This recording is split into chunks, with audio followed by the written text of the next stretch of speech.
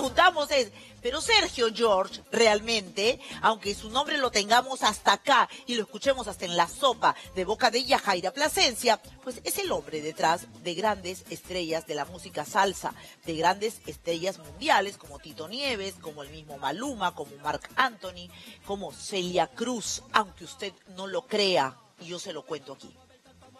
Ayúdame.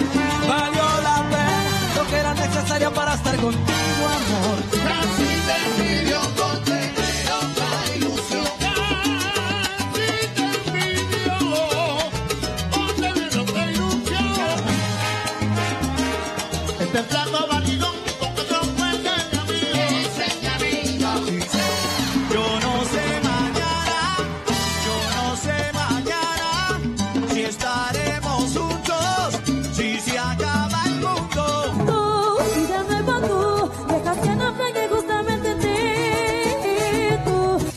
persona, para mí, Dios me lo puso en mi camino hace 30 años.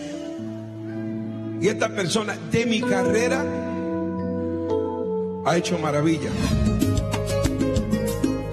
Hablar de Sergio George, el flamante productor de Yajaira Plasencia, es hablar de uno de los productores más importantes del género de la salsa en el mundo entero. Desde hace más de tres décadas es el creador de clásicos salseros para cantantes de la talla de Oscar de León, Celia Cruz, Tito Nieves, Mark Anthony, entre los más importantes. Y por estos tiempos es quien ha asumido la responsabilidad de llevar a la cima la carrera musical de la cantante peruana.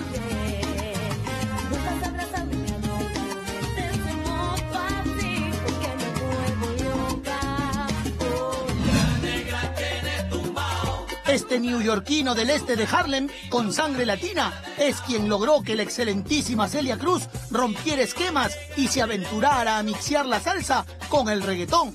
Le dije a Celia, me gustaría hacer algo que está pegando fuerte en Puerto Rico en las calles, se llama reggaetón. Entonces ella me dijo, dale para adelante, dale, me, encanta la idea. Y ahí nació La Negra Tiene Tumbao. Hace unas semanas, la Yaja posteaba en sus redes sociales una instantánea al lado del gran Tito Nieves. Obviamente, quien se lo presentó fue Sergio George. Para Tito Nieves, el productor de la Yaja, es a quien prácticamente le debe su exitosa carrera. Y esta persona de mi carrera ha hecho maravilla. Y quiero que se pongan de pie a recibir a mi hermano, el maestro Sergio George en el piano.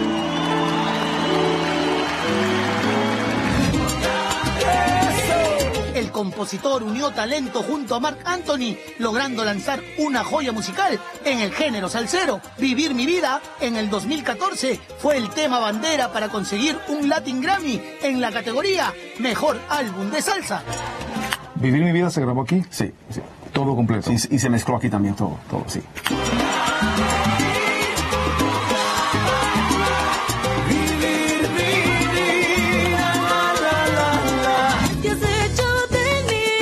Imaginamos que la Yaja tiene clarísimo el recorrido de su nuevo productor. Es por eso que hasta le hace caso cuando le pide que deje los shawarmas y el chicharrón. y en todo vives tú?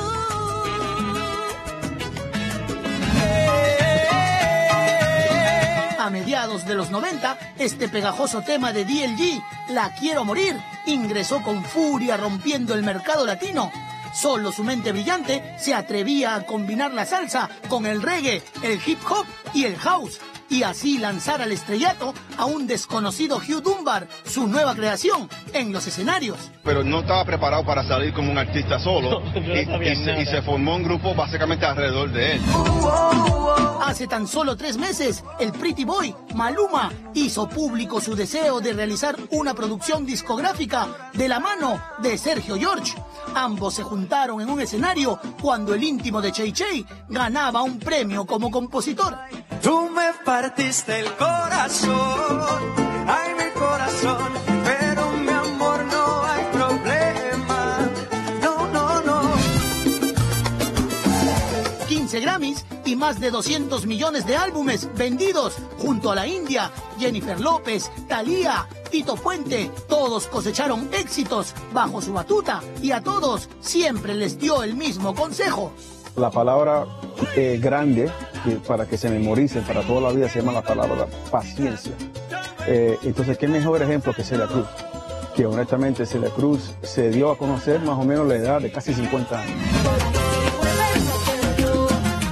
Este currículum, el éxito de Yajaira Plasencia debería estar más que asegurado. Solo el tiempo nos permitirá verla muy pronto en los escenarios, retribuyendo su agradecimiento, homenajeándolo en vida. Ojalá sepa aprovecharlo y, por supuesto, estar a la talla.